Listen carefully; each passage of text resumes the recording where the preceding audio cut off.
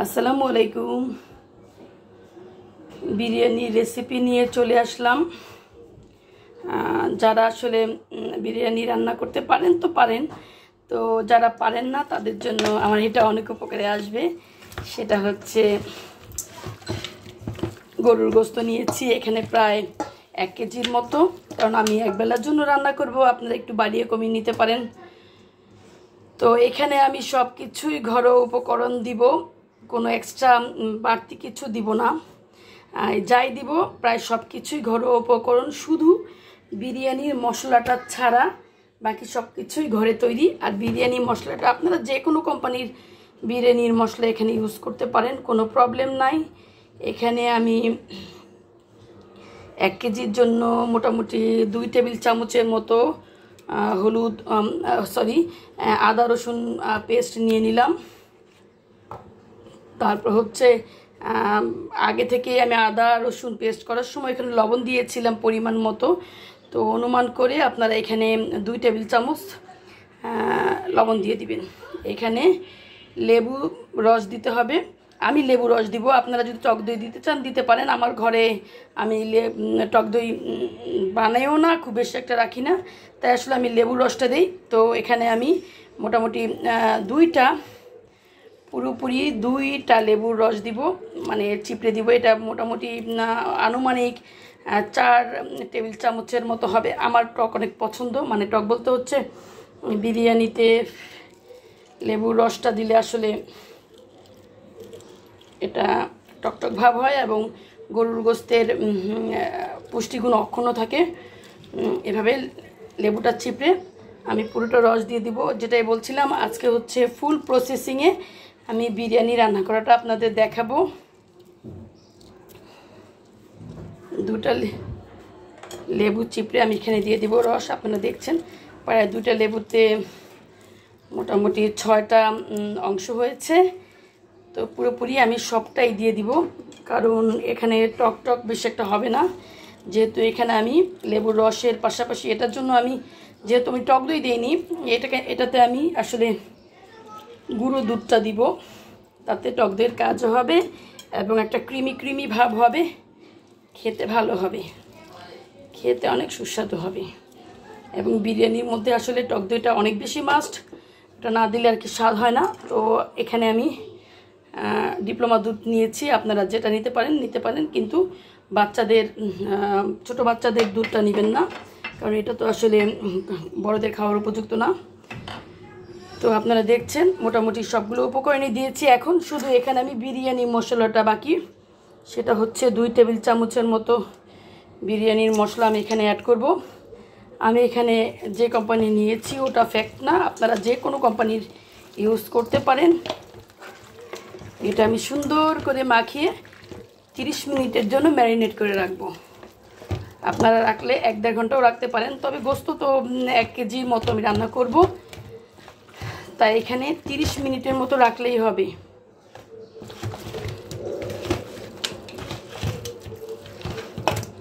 এটাকে আমি সুন্দর করে মাখিয়ে ম্যারিনেশনের জন্য রেখে দিলাম। এখানে আমি পেঁয়াজ আদা, রসুন পেস্ট দিয়েছি। আমি আর পেঁয়াজটা বেটে দিব না কেটে দিব না, ভাজার জন্য। আমি ডিরেক্ট তেল দিয়ে এটাকে চড়িয়ে দিব। তো বিরিয়ানির মশলাটা পরিমাণ মতো দিবেন, অতিরিক্ত পরিমাণে হলে কিন্তু গন্ধ আসবে, খেতে ভালো লাগবে না। তো এটা আমি আধা ঘণ্টার জন্য ম্যারিনেশনের জন্য রাখলাম। চুলোয় আমি তেল দিয়ে হাঁড়ি চাপিয়ে দিয়েছি। চুলায় এখন এটাতে আমি গরুর গোস্তটা, যেটা ম্যারিনেশনের জন্য রেখে দিয়েছিলাম, এটা দিয়ে দিব।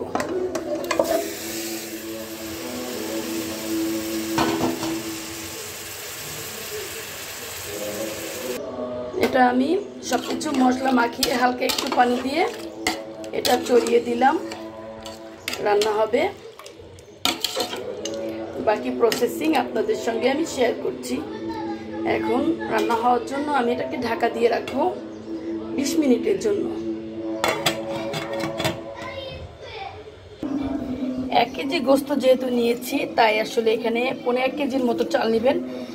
কারণ হচ্ছে গোস্তের পরিমাণ বেশি থাকলে আসলে বিরিয়ানি রান্নার স্বাদ বাড়ে। আর যদি কম দেন, তাহলে কিন্তু বিরিয়ানি খেতে ভালো লাগবে না। তো এটাকে আমি এখন সুন্দর করে চালটাকে ধুয়ে নিব। আর পোলার চালটা অনেক ধুলাবালি থাকতে পারে প্যাকেটেতে ইউজ করেন আর নর্মালটা, আমি এটা প্যাকেট আনি নাই। খোলা অবস্থায় এনেছি একশো চল্লিশ টাকা কেজি। তো ভালোই, খারাপ না। তো আপনারা ইচ্ছা করলে পাঁচশো টাকা কেজি চালও আনতে পারেন, যেটা হচ্ছে ইন্ডিয়ান বাসমতি চাল, আড়াইশো টাকা না তিনশো টাকা কেজি যেন ওটা। তবে আমার আমার মনে হয় পোলাও বা বিরিয়ানি রান্নার জন্য পোলাও চাল ইজ বেস্ট বাসমতির চালটা খাসির বিরিয়ানি রান্না করার জন্য ভালো। তো আমি রান্না করি না, আমি আসলে গরুর কোনো আইটেম রান্না করলে সেখানে পোলার চাউলটাই প্রেফার করি। তো এখানে আমি পোলাও চাউলটা সুন্দর করে ধুয়ে যতক্ষণ পর্যন্ত গোস্তটা না হচ্ছে অতক্ষণ পর্যন্ত এটাকে এভাবে রেখে দিব। এটা মোটামুটি একটু ফুলবে। পানির ঝরা দিয়ে রেখেছি। একটু বড় বড় হবে। যখন বিরিয়ানি রান্না করবেন তখন কিন্তু এটা দেখতে কিন্তু অনেক সুন্দর লাগবে। তো আমি যেভাবে বলছি, ঠিক সেভাবেই ফলো করে রান্না করবেন। আমার মতো তো হবে। আর আমি আশা করি সবাই যার জন্য রান্না করবেন সে খেয়ে ভালোই বলবে।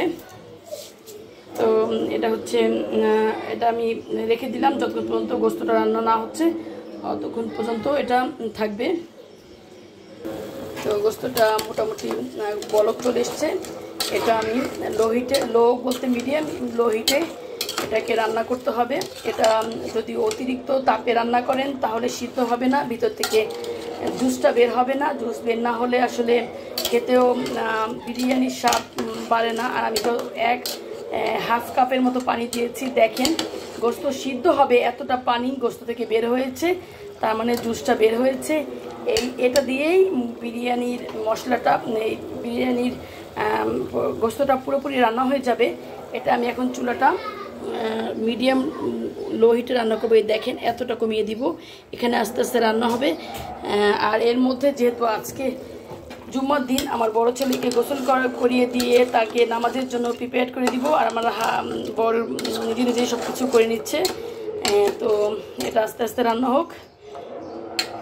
এটাকে আমি এখন মিডিয়াম লোতে ঢাকা দিয়ে রাখব। ঢাকা অবস্থা রান্না হলে খুব সুন্দর সিদ্ধ হবে।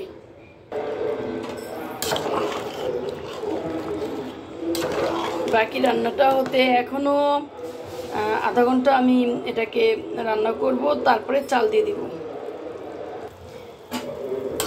এখন আমি গোস্তের মধ্যে চালটা দিয়ে দিব। দেখছেন পানি পানি থাকা অবস্থায় আমি চালটা দিয়ে দিচ্ছি। তারপর হচ্ছে যেহেতু আমি লবণ আগে একবার দিয়েছি, তারপরে এই পর্যায়ে আর কোনো লবণ অ্যাড করব না। এখন আমি সুন্দর করে চালটাকে মশলার সঙ্গে মাখিয়ে এটাকে বলক আসার জন্য একটু পুরোটা বাড়িয়ে দিব চুলা। দেখছেন পুরো চুলা আমি বাড়িয়ে দিয়েছি। এটা বলক আসলে আমি এটা নিচে তাওয়া দিয়ে আমি এটা রান্নায় চাপিয়ে রাখব। মোটামুটি আরও তিরিশ মিনিটের জন্য। মোটামুটি বলক চলে এসছে।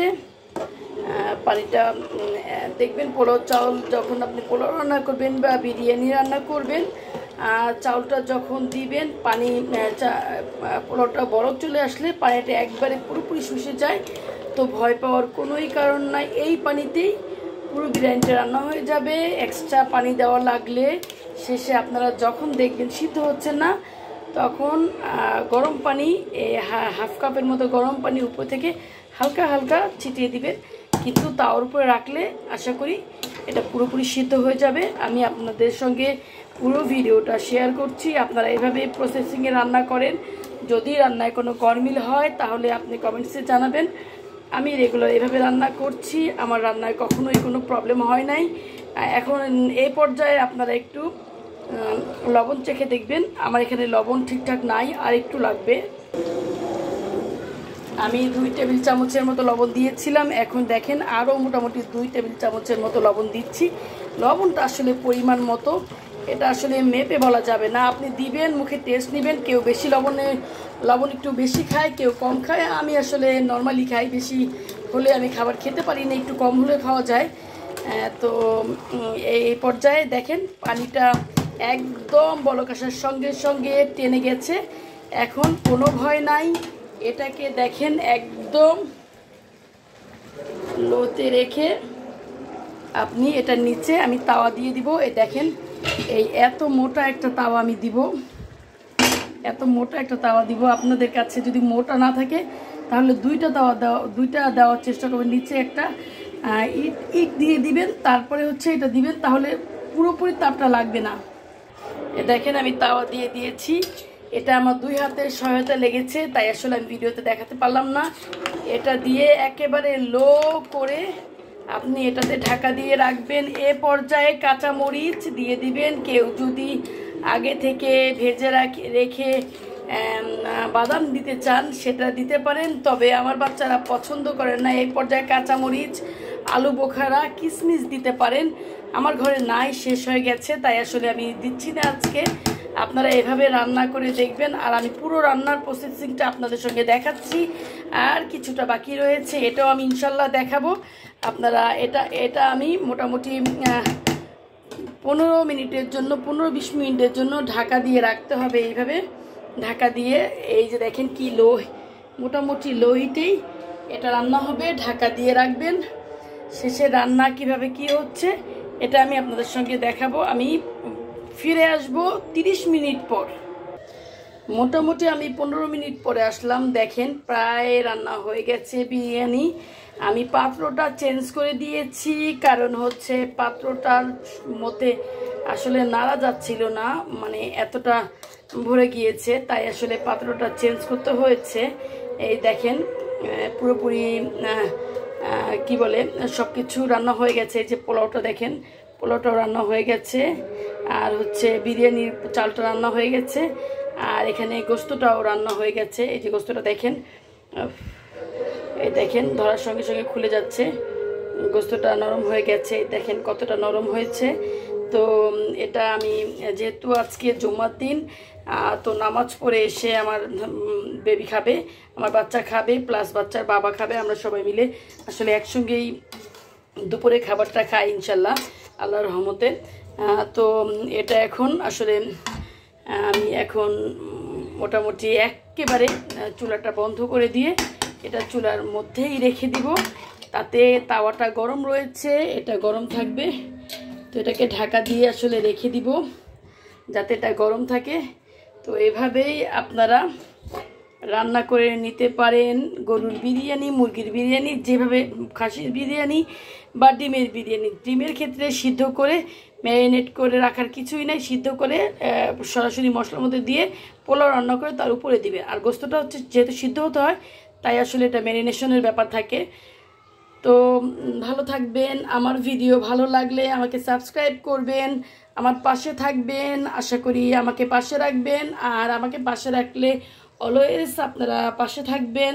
আমাকে পাশে পাবেন, ইনশাল্লাহ। ধন্যবাদ সবাইকে। ভালো থাকবেন। আল্লাহ হাফেজ।